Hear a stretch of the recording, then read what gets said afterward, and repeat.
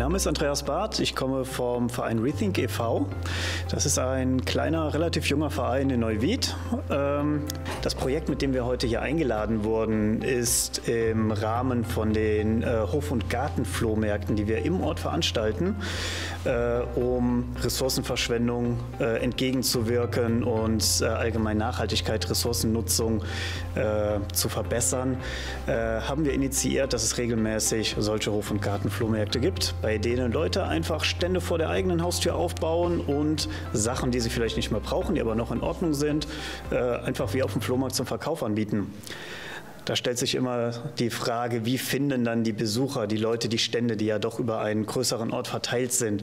Und um das zu vereinfachen, haben wir eine digitale Karte erstellt, wo sich Leute, die etwas anbieten wollen, eintragen können, die sagen, wo sie sind, was sie für ein Angebot haben und Besucher können dann auf der gleichen Karte nachher schauen, wo sie denn hin müssen. Also unsere Webseite ist www.rethinkev.de, rethink-ev.de und äh, da stehen alle Kontaktmöglichkeiten, gerne ansprechen, kontaktieren. Unser Verein ist, äh, wie gesagt, relativ jung. Wir haben uns im Sommer 2000 2021 gegründet, haben mittlerweile 37 Mitglieder.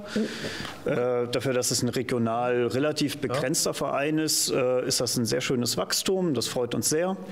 Und ja, wie gesagt, wir sind äh, zusammengewürfelt Leute, die halt versuchen, nachhaltige Projekte vor Ort, vor der eigenen Haustür umzusetzen. Also wir haben natürlich ein paar Mitgliedsbeiträge, über die wir viele Sachen finanzieren können. Für manche Projekte, also diese Sache ist nur ein Projekt von vielen, die wir machen.